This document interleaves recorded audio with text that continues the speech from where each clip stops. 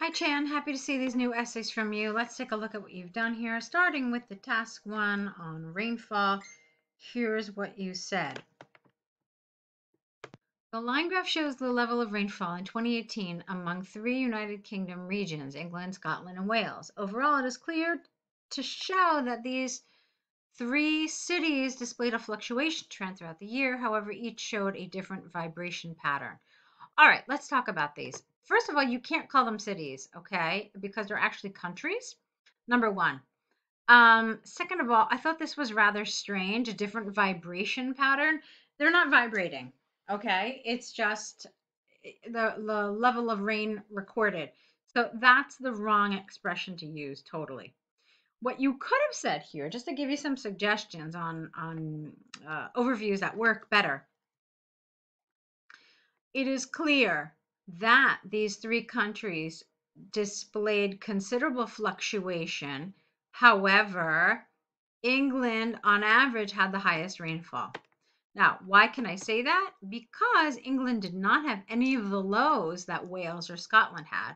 So if you were to average the rainfall, it would be higher than that of the other two. Okay, so that would have been um, a good overview. So let's keep going. In Scotland, clearly the level of rainfall has shown the greatest fluctuation between 25 and 130 from January to April. I wouldn't have said has shown because it's 2018, so it's clearly in the past. So it should have just been showed. So showed the greatest fluctuation between 25 and 130 from January to April. Lowest rainfall was 25 in February before a sudden crash. Before a sudden crash in January? That doesn't make sense. Uh, af no, that doesn't make sense. Uh, let's see. The lowest rainfall was in 25 was 25 in February. Um, following a a start of whatever that number is in January. Okay, so following a beginning point of what is that? Uh, Scotland started at like what 120 maybe. So yeah, you could have said that. So the lowest rainfall was 25 ml in February. Uh, following a um a rainfall of 120 ml in January. That's it. After that, the rainfall soared to 135 ml in March and then plunged to at 40 in April. Level rainfall peaked at 135 in March. You just said that. And September, you could have changed this around. After the each peaking, they plummeted after the following month. All right, there's problems with your language here. So I like that you talked about the peak in March and September. I don't like the repetition. Here you missed an opportunity to maybe be a little more cohesive. So let's talk about how you could have done that. Okay, after that, the rainfall soared to 135 in March and then plunged to 40 in April. Uh, the March peak was one of two peaks, the second one being in September. Okay, so you could have done something like that. Um, or you could have said after that the rainfall soared to the first of two peaks in March, okay, after which it plunged to 40 in April. A second peak uh, occurred in September. So there are a lot of different ways you could do that, okay? And then after each peak, rainfall plummeted the following month, okay? All right, so um, I have some concerns about the data points you picked you um you went into a lot of detail about January through April and then nothing for the rest of the year except for September. So I didn't think that was such a good choice, all right? There was a lot of focus on the first 4 months and then this piece in September and then that's it. So we'll talk about what I think could have been better data points here. But let's take a look at Wales.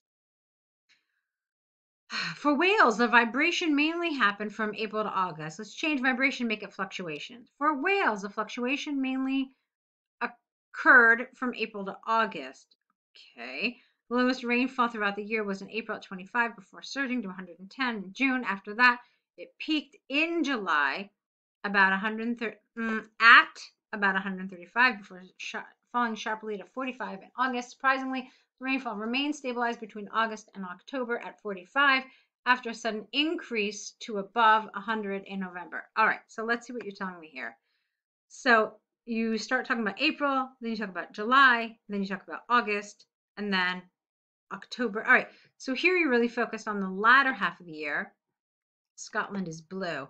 So you didn't really tell me anything about this low, did you? Did you mention it at all? Let's say, Wales. Wait, we're talking about I'm confused who we're talking about here. We're talking about Wales. Okay, so Wales. All right. So the first thing you talk about in Wales is is this this low. Okay, fine. Let's see. Um all right, here I would have liked something about the beginning of the year because you're focusing on the middle, but you're not really telling me about the beginning or the end. And we'll talk about that in a little bit. All right, for England, rainfall. Tell me again what it is because there are a lot of different things that this it could refer to. For England, rainfall fluctuated between 75 and 125 throughout the year. The least amount of rainfall was in June before 40 ml decreased from April. I don't understand that sentence at all. After that, a dramatic increase. All right, this is not a sentence. After that, there was a dramatic increase to 125 in July. In the final half of the year, uh, the fluctuation was similar. July, September, and December were the highest. No, July, September, and December were the months with the highest rainfall before 55 ml falling from previous months. I don't understand that. I don't understand what this 55 means. I'm confused by that. Uh, let's see. So you gave me a range here. That was good. You talked about June, you talked about April, you talked about July, you talked about September, December. Okay. So here I'm a little happier with the data points that you talked about. Let me tell you what I think the important data points here are. What you've got here is a year, okay? And it's um it's the story of rain throughout the year. So anytime you hear a story or anytime you tell a story, what are the key points that you want to mention? You want to mention the beginning, you want to mention the end, and then the important bits in the middle. And that's pretty much it, right? So you did some of that for some of this. So I thought that you mentioned the key points in England, but let me tell you what I think the key points in this graph are. So for England, they're the beginning and the end, okay? And then this low and these three peaks. And the last peak actually happens to be the last month. So that's it. It's one, two, three, four, five things you're going to talk about. Okay? You can probably do that all in like three or four sentences.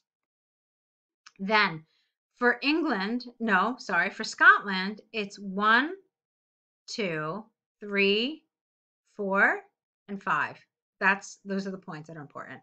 And then with Wales, I would say again the beginning one, two, three. I agree with you here, four, and then five.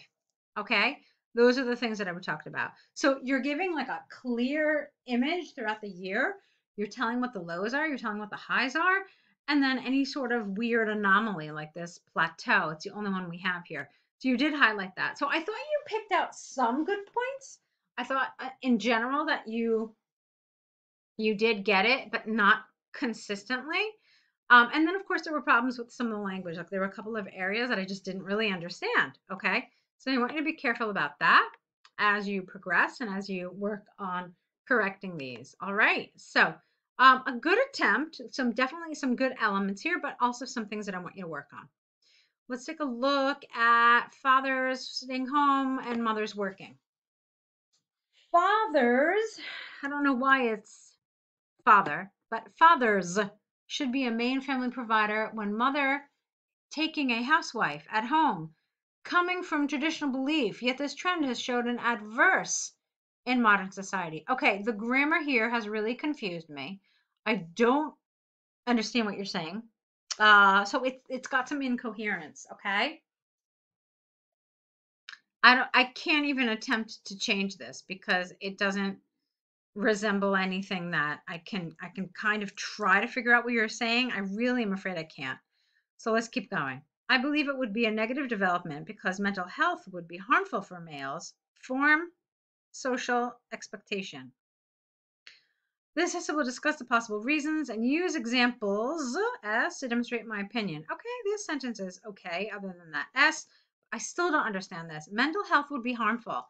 What does that mean? That mental health is not good for men? Mental health is just the thing in general. I think what you're trying to say here is that this would create mental health issues for men. This is what I think you're trying to say. But again, I'm finding this introduction rather problematic. It's got three sentences, and two of them have um, so many errors that I'm afraid I just don't understand what the message is. And that's pretty important. Let's keep going. There is ample evidence that the reason behind this trend is a mutual and longer decision making process. On one hand, life satisfaction after their marriage could be a significant factor in their decision. For example, recent empirical research by Corpus Christi College shows that 70% of fathers feel highly satisfied by work life balance in their marriage. Perhaps it creates more fathers staying at home. On the other hand, mother, no, mothers, mothers earn a higher salary in their employment. Mm, nope. Mothers earning a higher salary in their employment is also a critical factor. Uh, in becoming the primary breadwinner in the family because of the financial benefits.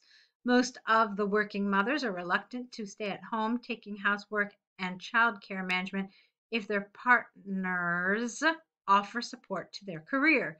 Therefore, it's exclusively clear that there are not simple reasons behind this trend. All right, so um, obviously grammar is creating a problem. Okay, I'm definitely seeing some sentences that really aren't clear in English. Okay, but then here too, let's talk about this. You're not really telling me what this paragraph is out. You're telling uh, about. You're saying there's ample evidence that the reason behind this trend, the reason behind which trend? So I'm confused. Like, what is it you're going to talk about? You can't use um, pronouns this like this. So let's try it a little differently. Uh, there is ample evidence that the reasons why more fathers are staying home and women are working is because and this again i didn't understand so what does that mean mutual and longer decision making process it's unclear to me what that means okay um, maybe you could have said something like because of different societal changes happening in the family that would have made sense. It would have been like, okay, so what are these societal changes? That would have been clear, but this is not. And then what's the decision? Whose decision? What decision? I'm very confused about this. And what does this mean, life satisfaction after their marriage? Then you told me this, but I didn't understand how this was related. So fathers feel satisfied. So what does that have to do with them saying, hey, you know what? I'm not going to go work anymore outside. I'm going to stay home with our kids and you can work. So I was really very confused about a lot of this. Okay? And this too, like what what what's a lot how what's a connection? So if people feel happy, if men feel happy with a work-life balance, why does it make them stay at home? There's a lot happening here that I'm just not able to to grasp. Okay? In my opinion, this trend would be a negative development because it would carry negative effects on psychological well being. I don't like negative, negative in one sentence, okay? You could say detrimental. That would have been nice. This is largely because social norms expect father, mm, social norms expect the father to be the primary bed, breadwinner for his family so that Family, so, mm, okay, so family work, yeah, know that. So family work is less valued than paid employment. Most of the fathers would have greater pressure, get rid of A, greater pressure from society because of the gender role deviance. For example, in the name of gender norms, society would show negative reactions and impressions to nonconformity, no, to nonconforming males whose self-esteem and other indicators of well-being would be negatively affected. Consequently, it is possible to state beyond doubt that the father's mental health would be negatively affected if they are that doesn't make sense. If they are nonconformity gender, no, no. If they follow nonconformist gender roles, norms, sorry. Okay, I feel like there's a lot of focus on the father here. There was no focus on the mother. Anytime you you you focus just on one and not the other, I feel like this essay becomes very kind of one-sided. I think you absolutely need to discuss both of them. So, what does this mean for the mother? What does this mean for the father? Sometimes I see people talk just about the mothers, which I think is incorrect. And in this case, you've talked just about the fathers, which I also feel is incorrect. Okay. There has to be a little bit of a balance that you're looking at it from both perspectives. Um, all right. So obviously we had some problems with some of the language, uh, but you thought it was negative. You thought that the pressure from society would really affect fathers and affect their mental well-being.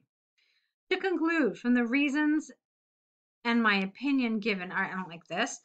To conclude, from the reasons and examples given, I believe it is a challenge. I believe it is challenging for fathers. I don't understand this.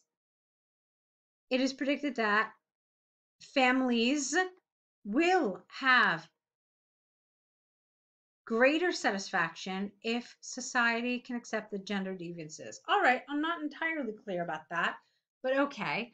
So you should have a pretty good idea, Chan, about what's strong in this essay. There are some strengths here, but there are also a lot of weaknesses that I need you to kind of work on. All right.